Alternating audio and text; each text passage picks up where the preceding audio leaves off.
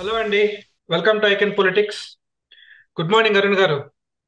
Good morning అండి అరుణ్ గారు రెండు వేల పంతొమ్మిదిలో జనసేన ఓటు బ్యాంకు దాదాపుగా మొత్తం పవన్ కళ్యాణ్ గారికి పడినప్పటికీ కూడా కొంత ఓట్ బ్యాంక్ అటు ఇటు కొంత టీడీపీకి కొంత వైసీపీ కూడా పడి ఉండొచ్చు. లేకపోతే ఒకరికి యాభై శాతం ఒకరికి నలభై శాతం వచ్చి ఉండదు అనేది ఒక అభిప్రాయం.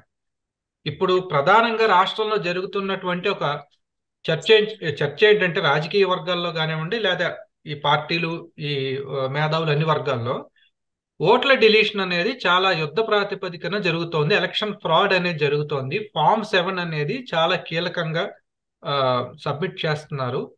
అంటే ఓటు హక్కుని మీకు ప్రాథమికంగా ఉన్నటువంటి ఓటు హక్కుని వాళ్ళు తీసేస్తున్నారు అనేటువంటిది ఒక ఒక ఆరోపణ. ఒక జనసేన పార్టీగా ఒక వీర మహిళగా మీరు చెప్పండి. మీ పార్టీ తరపు నుంచి మీరు దీన్ని ఎలా కౌంటర్ చేయాలనుకుంటున్నారు? మీ అధ్యక్షుల వారి దగ్గర నుంచి మీకు వచ్చినటువంటి ఒక డైరెక్షన్ ఏంటి? ఇప్పటి వరకు రెండు వేల పంతొమ్మిది తర్వాత అంటే అప్పుడు కూడా ఉండే ఉండొచ్చేమో తెలియదు కానీ ఇప్పుడు ఎలక్షన్ కమిషన్ ఏదైతే రీసర్వే చేస్తూ ఉన్నారో దీంట్లో మనకి ఇప్పటి వరకు ఇరవై ఏడు లక్షల దొంగ ఓట్లు బయటపడ్డ విషయం మనందరికీ తెలిసిందే. అలాగే ఆ వేలాది మందివి అపోజిషన్ పార్టీలు వాళ్ళు ఎవరైతే యాంటీ గవర్నమెంట్ ఉన్నారో వాళ్ళందరి ఓట్లు కూడా చాలా వరకు గల్లంతైన విషయం కూడా మనం ఇప్పటి వరకు గమనించామండి. రాబోయే రోజుల్లో ఇంకా ఓటును కాపాడుకోవాల్సిన పరిస్థితి వచ్చింది. ఇంతకు ముందు డబ్బుని బంగారాన్ని కాపాడుకునే సిచ్యువేషన్ అయితే ఇప్పుడున్న ఈ గవర్నమెంట్లో ఓటును కూడా భద్రంగా ఎప్పటికప్పుడు చెక్ చేసుకుంటూ కాపాడుకోవాల్సిన పరిస్థితి అయితే వచ్చింది డెఫినెట్గా. దీనికి సంబంధించి మా జనసేన పార్టీ నుంచి మాకు ఆల్రెడీ ఇన్స్ట్రక్షన్స్ అండ్ వర్క్ కూడా జరుగుతూ ఉంది. కొంతమంది వాలంటీర్లు ఇచ్చారండి. గ్రామ గ్రామాన నియోజకవర్గాల వారీగా ఒక టీం ఏర్పాటు చేసి ఆ టీం ప్రతి ఇంటికి సర్వే లాగా వెళ్ళి ఓటు ఏదైతే ఆన్లైన్ యాప్స్ ఉన్నాయో ఓటు చెక్ చేసుకునే యాప్స్ వాటి ద్వారా ప్రతి ఒక్కళ్ళది ఓటు వెరిఫై చేసి ఉంది లేనిది వాళ్ళకి తెలియజేసి వచ్చే కార్యక్రమం అయితే ఆల్రెడీ స్టార్ట్ చేశారు. అది ఇప్పుడే ఐటీ ఎంప్లాయీస్ ద్వారా ఎవరైతే జనసేన ఐటీ వింగ్ ఉందో ఐటీ వింగ్ ద్వారా ఈ కార్యక్రమం అనేది నిర్వహించబడుతుంది. ఆల్రెడీ స్టార్ట్ చేశారండి కొన్ని నియోజకవర్గాలు ఈ విషయం. ఇది రాష్ట్ర వ్యాప్తంగా కూడా రానున్న రోజుల్లో యుద్ధ ప్రాతిపదికన అయితే జరుగుతుంది. బట్ ఇప్పుడు కమిటీలు అనేవి టీడీపీ అండ్ జనసేన సమన్వయ కమిటీలు వేయడం అనేది ఇంపార్టెంట్ కాబట్టి అవి వేసిన తర్వాత అయితే ఇంకా ఈ వర్క్ అనేది ఈజీ అవుతుంది కాబట్టి ఫస్ట్ కమిటీల మీద ఫోకస్ చేశారు. ఈ కమిటీలు అయిపోయిన వెంటనే కూడా ఈ విషయం రాష్ట్ర వ్యాప్తంగా చేయడం జరుగుతుంది. ఓకే. అంటే మీకు స్థానికంగా ఉన్న వాలంటీర్లతో మీకు ఎలా ఉంది మేడం? అంటే అందరికీ తెలిసిందే వాలంటీర్లు వన్ సైడెడ్గా మెజారిటీ అధికార పార్టీ పక్షాన పనిచేస్తున్నారు అనేది కామన్ ఒపీనియన్ జనసేనకి వాలంటీర్లతో ఎలా ఉంది? అంటే మీకు ఎలా ఎదురే సమస్యలు ఎలా ఉన్నాయి? ఇప్పుడు ఈ ఓట్ల విషయంలో మరి ముఖ్యంగా. అంటే ఇవాళ వాలంటీర్ అనే వ్యక్తి తన స్వతంత్రుడు కాదు ఫస్ట్ విషయం.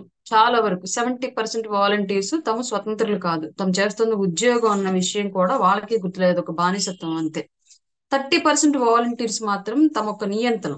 వాళ్ళు పనిచేస్తున్న యాభై ఏళ్ళ మీద వాళ్ళ గ్రామాల్లో కూడా వాళ్ళకు నియంతలు. మేము చెప్పింది జరగాలి. ప్రభుత్వం సంబంధించి మేమేం చెప్తే అదే జరిగింది కాబట్టి మా చేతుల్లో మీరుండాలి అన్న ఉద్దేశంతో ఉన్నారు. హండ్రెడ్ పర్సెంట్ వాలంటీర్స్లో సెవెంటీ పర్సెంట్ ఏమో నాయకులకి బానిసలుగా మారితే థర్టీ పర్సెంట్ ఏమో ప్రజల పైన కమాండర్స్గా మారారు. ఇందువల్ల వాలంటీర్ వ్యవస్థ ద్వారా ప్రజలకు కలిగే లాభం కన్నా కూడా నష్టమే ఎక్కువగా ఉందన్నమాట మాత్రం వాస్తవం. గ్రౌండ్లో ఉన్న రియాలిటీ ఇది. ఒక్క మరీ ఇంకా లేగవలేని స్థితిలో ఉన్న వృద్ధులకు పెన్షన్ ఇవ్వడానికి తప్ప మిగతా ఏ కార్యక్రమాలు కూడా గత గవర్నమెంట్లో ఈ వాలంటీర్లు ఉన్నా లేకపోయినా ఎవరివి ఏమీ ఆగలేదు. పథకాలు సంక్షేమ పథకాలు ఈ పెన్షన్లు ఇలాంటివన్నీ ఏమీ ఆగలేదు. ఎవరికి అంత తీవ్ర స్థాయిలో ఇబ్బందులు అయితే ఏమి కలగలేదు.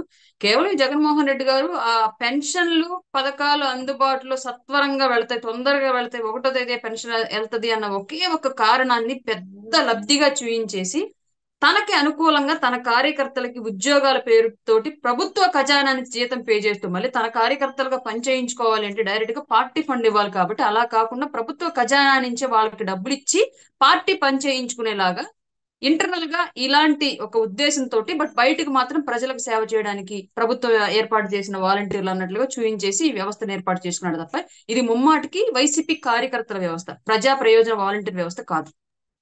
ఓకే. అంటే ఇప్పుడు వారాహి దగ్గరికి వస్తున్నానండి. వారాహిలో అంటే మునుపటి అంటే రెండు వేల తొమ్మిది నుంచి పవన్ కళ్యాణ్ గారి స్పీచ్లు ఫాలో అవుతూ ఉన్నాను నేను చాలా. అంటే వాడి వేడిగా ఉండేవి. చాలా ఆవేశంగా ఉండేవి. చాలా ఉక్రోషంతో ఉండేవి. అంటే ఒక ఒక రకమైనటువంటి ఒక ఎనర్జీతో ఉండేవి. ఈ మధ్య చాలా పరిణితిగా ఉన్నాయి. ఒక నిండు కుండలాగా మాట్లాడుతున్నారు ఈ మధ్య. తెలుగుదేశంతో పొత్తు ప్రభావం అనుకోవచ్చా? లేకపోతే ఈ ఆ, డక్క డక్కి ముక్కిలు తిని మొత్తం అంత రాజకీయాల్లో కూడా ఆయన కూడా థిక్ స్కిన్ అయ్యారు అనుకోవచ్చు. అంటే ఎలా చూడొచ్చు నేను ఫస్ట్ విషయం సార్ మొదటి నుంచి ఇప్పటి వరకు స్టిల్ ఆయన ఓపెన్ హార్టెడ్ ఓపెన్ మైండెడ్ గానీ ఓపెన్ స్పీచ్ ఇచ్చారు. ఏం మాట్లాడినా సరే వాస్తవం మాట్లాడారు. పవన్ కళ్యాణ్ గారు మాట్లాడే నిజాలను మాట్లాడే ధైర్యం ఉన్న రాజకీయ నాయకుడు ఎప్పుడు ఇప్పటి వరకు లేరు. ఎంత పెద్ద సీనియర్ అన్నావనివ్వండి ప్రధానమంత్రి పదవి చేసి ఉండనివ్వండి ముఖ్యమంత్రి పదవి చేసి ఉండండి అంతకన్నా పెద్ద పదవులు ఏమైనా ఉంటే అవి కూడా చేసి ఉండనివ్వండి కానీ బట్ పవన్ కళ్యాణ్ గారు లాగా వాస్తవాలను ఓపెన్ గ్రౌండ్లో మాట్లాడే రాజకీయ నాయకుడు లేరు. ఆవేశంగా మాట్లాడిన నిజాలే మాట్లాడారు ఇవాళ ఆలోచన పూరితంగా మాట్లాడుతున్నారు అని మీరు అనుకుంటున్నా సరే ఇవాళ కూడా వాస్తవాలే మాట్లాడుతున్నారు. బట్ ఇక్కడ జరిగిన విషయం ఏంటి అంటే ప్రజలు ఈ ప్రభుత్వం వల్ల కలిగిన నష్టం వల్ల ఆయన స్పీచ్ల పట్ల దృష్టి పెట్టడం మూలంగా ఎక్కువ ఆయన చెప్తున్న విషయం ఏంటి అనేది ఎంత అవగాహనతోటి చెప్తున్నారు ఎంత ఆలోచనతో చెప్తున్నారు అనేది ప్రజలు ఈ రోజు అవగాహన చేసుకుంటున్నారు. గతంలో అవగాహన చేసుకోవాలి. ఆయన ఆవేశం ఎవరికి సామాన్యుడికి అర్థం కాల గతంలో. ఇప్పుడు ఆ సామాన్యుడికి అర్థమవుతుంది ఆయన ఆవేశం ఏంటి? ఆయన మనసులో ఉన్న వాస్తవాలు ఏంటి? ఆయన చెప్పాలనుకుంటుంది ఏంటి? చెప్తోంది ఏంటి అన్నది ఇవాళ సామాన్యుడికి అర్థమవుతుంది. రెండో విషయం ఏంటి అంటే సార్ గతంలో ఆయన ఆవేశాన్ని చూసి చాలా మంది యువత మొబిలైజ్ అయిన యువత ఆకర్షితులైన మిడిల్ ఏజ్ వాళ్ళు ఓల్డ్ ఏజ్ వాళ్ళు కూడా ఆయన ఆవేశాన్ని ఏదో తెలియనితనంగానో ఉద్రేకంగానో తీసుకున్నారు తప్ప ఆయన ఆవేశంలో ఉన్న ఆవేదనని ఆలోచన అర్థం చేసుకోవాలా? ఈ రోజు ఆయన నిదానంగా అదే విషయాలను చెప్తూ ఉంటే ఇవాళ అర్థం చేసుకుంటున్నారు. ఇవాళ ఆయన స్పీచ్ని వినాలని ఆసక్తి చూపిస్తున్నారు. అసలు పవన్ కళ్యాణ్ ఏం చెప్తున్నాడు? మా నియోజకవర్గంలో ఏముంది? ఇప్పుడు పవన్ కళ్యాణ్ గారి మాటల్లో విందామన్న ఆసక్తి ప్రతి ఒక్కళ్ళు క్రియేట్ చేశారు ఆయన. దానికి one of the cause Jaganmohan Reddy గారి పరిపాలన కూడా. ఓకే. అంటే ఇంకొకటి అండి మరీ ముఖ్యంగా ఈ వారాహి యాత్రలోనే గమనిస్తుంటే పూర్వం పూర్తిగా జనసేన ఒక ఈవెంట్ లాగా ఉండేది. ఇప్పుడు జనసేన మరియు తెలుగుదేశం కంబైన్డ్ ఈవెంట్ లాగా కూడా ఉంది. తెలుగుదేశం వారు కూడా వారాహి యాత్రలో వాళ్ళ జెండాలతో వస్తున్నారు ఇదంతా వస్తున్నారు. అంటే ఇప్పుడు బాధ్యత ఎక్కువ ఉందనుకోవాలా పవన్ కళ్యాణ్ గారి మీద? అంటే పవన్ కళ్యాణ్ గారి పార్టీ పరంగా చూస్తే జనసేనకి పొత్తులు కొత్త కాదు. అంటే రకరకాల వ్యక్తులతో కలిసి పనిచేయడం అనేది పవన్ కళ్యాణ్ గారి కొత్త కాదు. కానీ ఇప్పుడు ఏంటంటే ఖచ్చితంగా గెలవాల్సినటువంటి పరిస్థితి కదా కూటమికి. మీకు లాస్ట్ టైం కూడా గెలుపు కోసమే ప్రయత్నించారు రెండు వేల పంతొమ్మిది కూడా సీరియస్ గానే చేశారు. కాకపోతే ఇప్పుడు అనివార్యం కదా. ఈ కూటమికి గెలుపు అనేది అనివార్యం.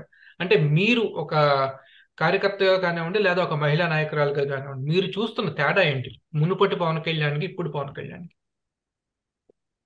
తేడా అంటూ ఏమి లేదు సార్. ఇంతకు ముందు పార్టీ బలోపేతం అలాగే కార్యకర్తలకు దిశానిర్దేశం అన్నట్లుగా ఉండేది ఆయన దిశ చేసే పనితీరు అనేది. ఇప్పుడు ఏంటంటే రాష్ట్ర ప్రజలకు మేలుకొలుపుగా అలాగే మా పార్టీ కార్యకర్తలతో పాటు టీడీపీ కార్యకర్తలకు కూడా కొన్ని విధి విధానాలు తెలియపరిచే విధంగా కూడా ఆయన స్పీచ్ అనేది కొనసాగుతుంది. ఆయన విధానాలు కూడా అలాగే ఉన్నాయి. అంటే ఇప్పుడు ఇన్ని రోజులు ఒక క్యాడర్నే ఆయన మొబిలైజ్ చేయాలి బట్ ఇప్పుడు రెండు క్యాడర్లను కూడా ఆయన మొబిలైజ్ చేసుకోవాలి.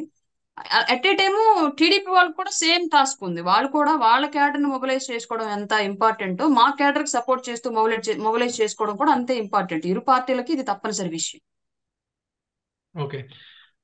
ధన్యవాదాలండి అరుణ్ గారు. దేనికంటే ఇది చాలా సంక్లిష్టమైన సమయం మీ పార్టీకి కానీ రాష్ట్రానికి కానీ మీరు మీ వెనకాల ఉన్న మీ అధ్యక్షుల వారు ఇద్దరు చాలా ట్రమెండస్గా గెలవాలని మనసావాచ కోరుకుంటున్నాం. ఫ్రమ్ ఐకన్ పొలిటిక్స్ అండి. థ్యాంక్స్ అండి.